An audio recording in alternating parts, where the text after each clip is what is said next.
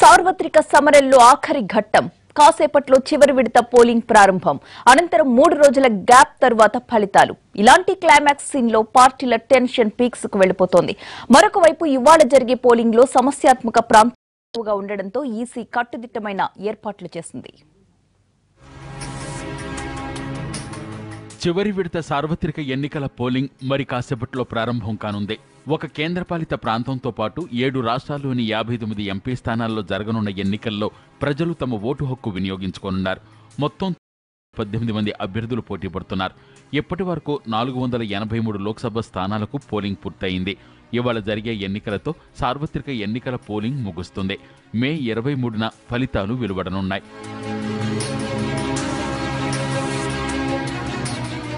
యూపీలోని పదమూడు స్థానాలు పంజాబ్లో పదమూడు బెంగాల్లో తొమ్మిది బీహార్లో ఎనిమిది మధ్యప్రదేశ్లో ఎనిమిది హిమాచల్ ప్రదేశ్లో నాలుగు జార్ఖండ్లో మూడు ఛత్తీస్గఢ్లో ఒక స్థానానికి ఎన్నికలు జరుగుతాయి.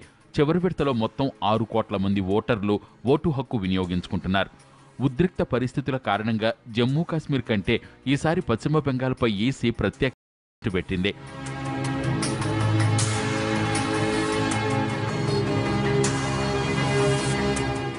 పశ్చిమ బెంగాల్లో బీజేపీ తృణమూల్ కాంగ్రెస్ మధ్య ఘర్షణలు కోల్కతాలోని అమిత్ షా ర్యాలీలో విధ్వంసం జరగడంతో పోలింగ్ కోసం భారీ భద్రతా ఏర్పాట్లు చేస్తోంది ఎన్నికల సంఘం.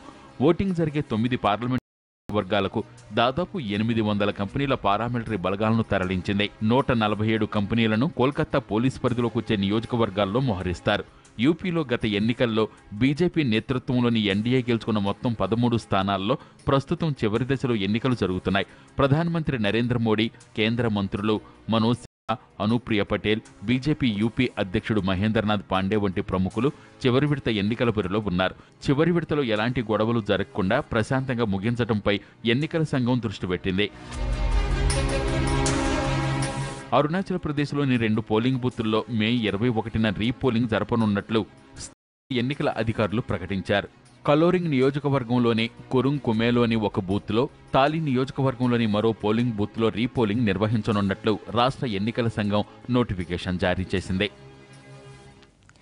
ఒకరిపై ఒకరు ఆరోపణలు విమర్శలు మాటల యుద్ధం మధ్య ప్రచార హోరు ముగిసింది. ఇక ఎన్నికల తుది సమరానికి సమయం ఆసన్నమైంది. దేశవ్యాప్తంగా ఎనిమిది రాష్ట్రాల్లో యాభై తొమ్మిది లోక్సభ స్థానాలకు ఏడో విడతగా ఇవాళ పోలింగ్ జరగనుంది. ఎన్నికల బరిలో నిలబడ్డ కీలక అభ్యర్థులు ఎవరు? ఎవరు ఎక్కడి నుంచి తమ అదృష్టాన్ని పరీక్షించుకోబోతున్నారో చూద్దాం.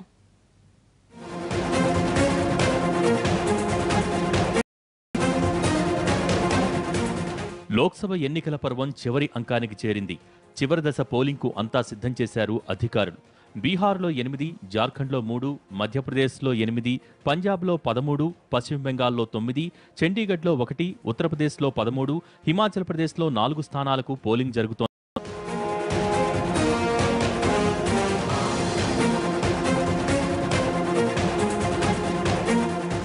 ఉత్తరప్రదేశ్లోని వారణాసి నుంచి ప్రధాని మోడీ వరుసగా రెండోసారి బరిలోకి దిగుతున్నారు. గత ఎన్నికల్లో ఈ స్థానం నుంచి ఆయన భారీ మెజార్టీతో విజయం సాధించారు. వారణాసి నియోజకవర్గం కమలం పార్టీకి మంచి పట్టున్న రెండు వేల నాలుగులో మినహాయించి పంతొమ్మిది వందల తొంభై ఒకటి నుంచి ఇక్కడ వరుసగా బీజేపీ అభ్యర్థులే విజయబావుట ఎగురవేశారు గతంలో ఇదే స్థానం నుంచి పోటీ చేసిన అజయ్ రాయును కాంగ్రెస్ బరిలోకి దింపింది.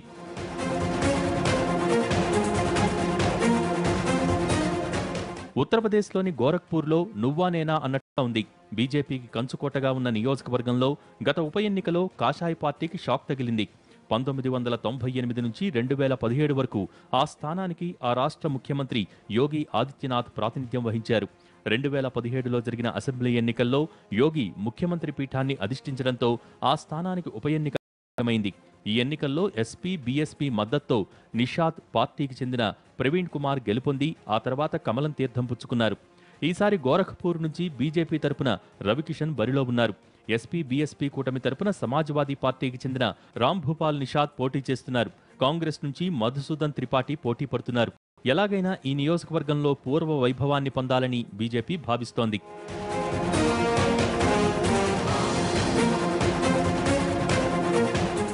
పంజాబ్లోని అమృత్సర్ స్థానంలో త్రిముఖ పోటీ నెలకొంది. కేంద్ర మంత్రి హర్దీప్ సింగ్ పూరి బీజేపీ తరపున ఇక్కడ రంగంలోకి దిగారు. అటు కాంగ్రెస్ తరపున గుర్జీత్ ఔ బరిలోకి దిగారు. అలాగే ఆప్ నుంచి కుల్దీప్ సింగ్ ధలియావాల్ పోటీ చేస్తున్నారు.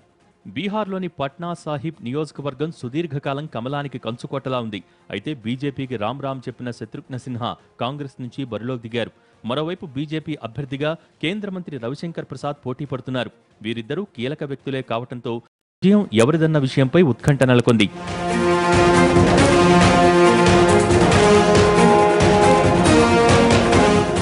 ఉత్తరప్రదేశ్లోని ఘాజీపూర్ లోక్సభ స్థానంలో ఈసారి బహుముఖ పోరు ఉంది. బీజేపీ తరపున కేంద్ర మంత్రి మనోజ్ సిన్హా బరిలో ఉన్నారు. మరోవైపు ఎస్పీ బీఎస్పీ కూటమిలో ఈ స్థానాన్ని బీఎస్పీకి కేటాయించారు ఆ పార్టీ తరపున అఫ్జల్ అన్సారీ పోటీ చేస్తున్నారు. కాంగ్రెస్ నుంచి అజిత్ ప్రతాప్ కుష్వాహా సిపిఐ నుంచి భానుప్రకాష్ పాండే పోటీ చేస్తున్నారు. అయితే ప్రధాన పోటీ మాత్రం బీజేపీ బీఎస్పీ మధ్యనే.